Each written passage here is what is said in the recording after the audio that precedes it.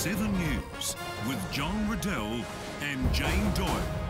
The Royal Adelaide Show is always a great place for foodies, whether it's breaking the diet or exploring new local produce. The show is the place to go. It is. Let's cross now to our amateur correspondent in the 7 News experience and see what's been cooking this year. Thanks, Jane. I'm here at the show and my belly is full.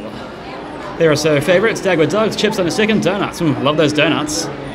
If you're after a healthy option, try the Kingsway Gourmet and Truck Stop. And there is nothing better than fresh scones at the Country Women's Association. Local produce is on show at the show, and South Australia has plenty to be proud of. Wines, cheeses, olives, and small goods. It's all here. It's all fresh, and you can grab a show special and save a stack on cash. I'm off for more donuts. Thank you and good night. Watch Adelaide 7 News every night at 6, only on Channel 7 for more show news.